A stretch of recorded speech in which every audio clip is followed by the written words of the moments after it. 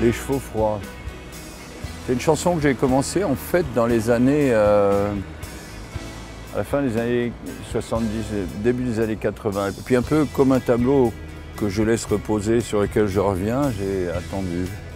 attendu le moment pour, le, pour la finir. Je trouvais jamais que, que c'était la bonne place. Et puis euh, sur ce disque-là, à un moment donné, je me suis dit, mais en fait c'est ça, c'est maintenant.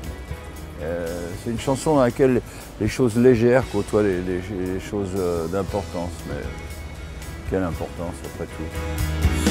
Allez, ça va, je sais bien ce que tu penses.